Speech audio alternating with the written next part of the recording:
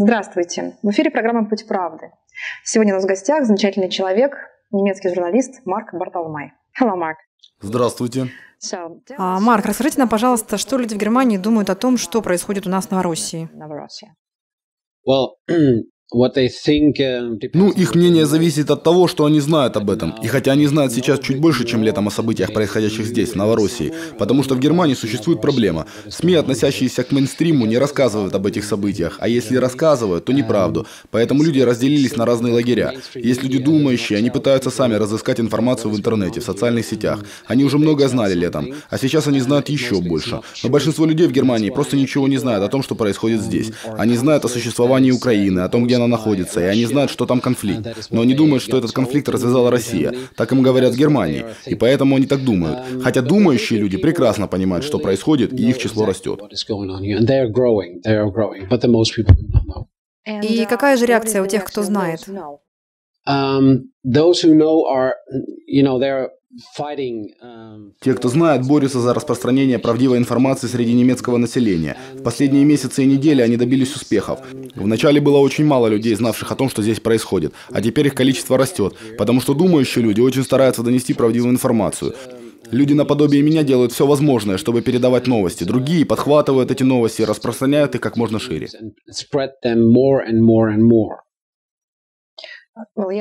А, я знаю, что вы здесь занимаетесь сбором новостей. Ваша миссия в этом. Чем еще вы занимаетесь? Uh, Вообще-то мы снимаем документальный фильм об этой войне, о том, что происходит здесь, на Донбассе, потому что эти события не освещаются в широком плане. Кроме того, мы постоянно информируем нашу аудиторию, публикуем свежие новости о событиях здесь, заметки, видео, фотографии. Но наша главная цель – это съемки документального фильма о войне. Он будет называться «Украина в агонии». И я надеюсь, работа над ним будет завершена до конца этого года, а может быть в начале следующего, 2015.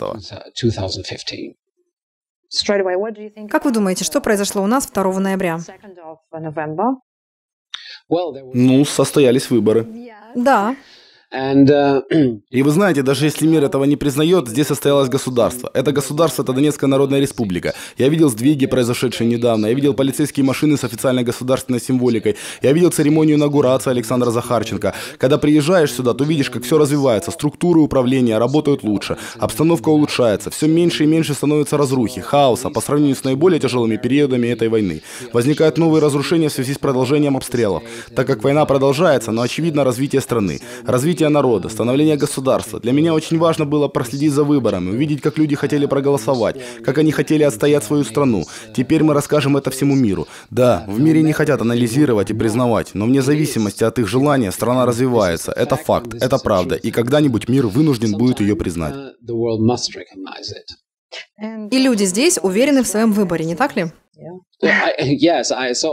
Да, люди здесь уверены в правоте принятого решения. Им все равно, что скажет США или Евросоюз, потому что это их страна, это их земля, на которой жили многие поколения их предков. Вот что я здесь вижу.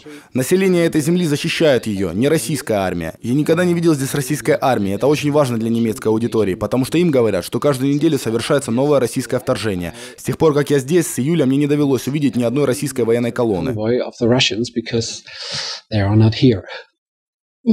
То есть вы здесь с июля? Yes. Да, с июля. Um, uh, И каковы ваши планы? Вы собираетесь ехать домой или останетесь здесь с нами?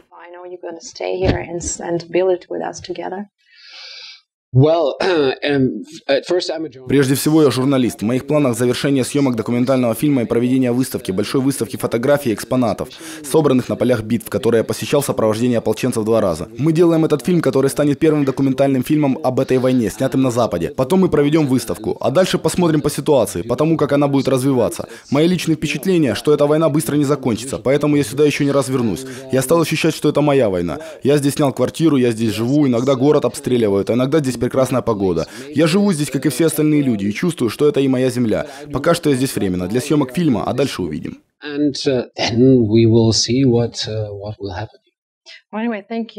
Спасибо вам большое. Огромное спасибо за то, что вы делаете.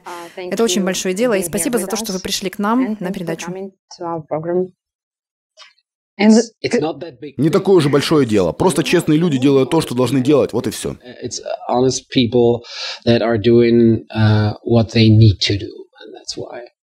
Спасибо вам за то, что вы рассказываете людям правду о событиях здесь. Приятно было пообщаться. До свидания. До свидания.